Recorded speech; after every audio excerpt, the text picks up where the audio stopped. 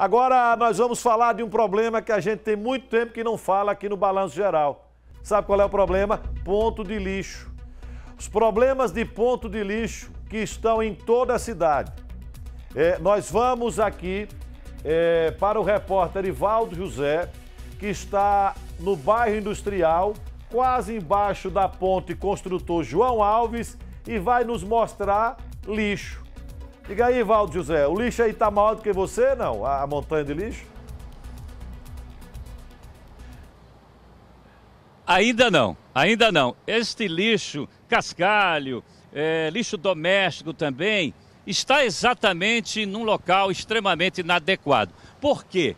Aqui, vem comigo, Jeová, embaixo da ponte funciona a academia da cidade. Olha que bonito. As pessoas da comunidade vêm fazer exercício. Fica respirando o mau cheiro, vendo os ratos passando e realmente é muito ruim. Eu vou pedir licença aqui aos alunos e ao professor Eduardo. Eduardo, um incômodo danado o lixo, né? Bom dia. Bom dia. Pois é, essa questão aqui do lixo no bairro está se tornando um problema grave. Temos aqui nesse local, temos ali também mais na frente, então está um caso de, de, saúde pública mesmo. E aqui a, as pessoas fazem exercício com esse cenário, com esse mau cheiro, né?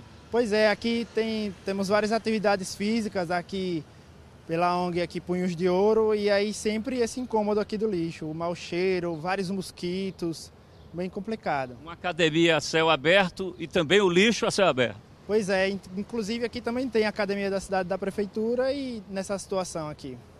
Tá vendo, Fábio Henrique? Fábio Henrique, uma coisa tão gostosa, exercício logo cedo para manter a forma física, a saúde e bem vizinho aqui ao lado, a lixeira. Lamentável.